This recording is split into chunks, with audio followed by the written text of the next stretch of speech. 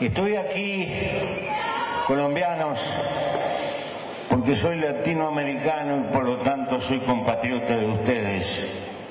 Y vine a Colombia desde el primer momento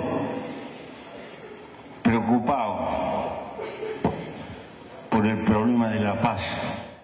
Mi generación luchaba por ese fantasma que le llamamos poder. En realidad luchamos por la escalera de la civilización humana, aunque creíamos que luchábamos por el poder. Vale la pena que cultiven una mirada que no se deje dominar por el odio, a pesar del fogón de dolor que a veces nos toca llevar adentro. Por eso, no le den pelota a los viejos, muchachos.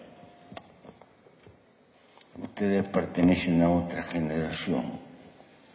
No deben cometer el error de la nuestra.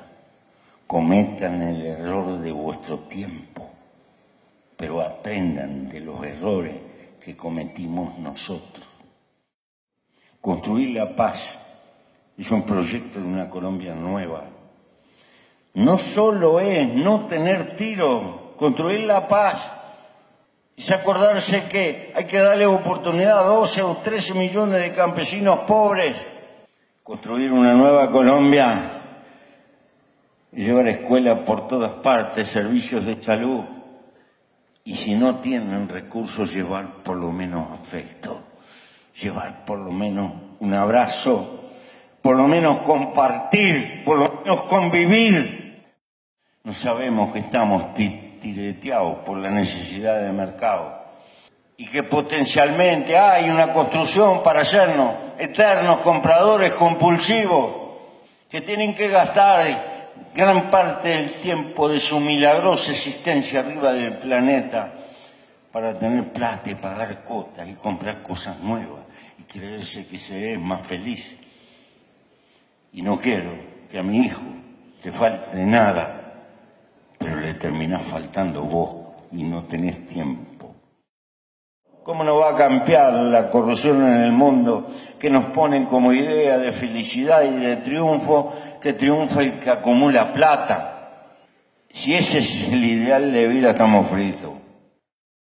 Huyan de la soledad, construyan colectivamente y sepan que toda construcción colectiva supone gente que se equivoca que falla y que hay que volver a empezar. Pero no se puede andar solo por el mundo, hay que andar con otros, hay que construir nosotros. Aquellos que pueden creer en Dios, a la hora señalada tienen un refugio.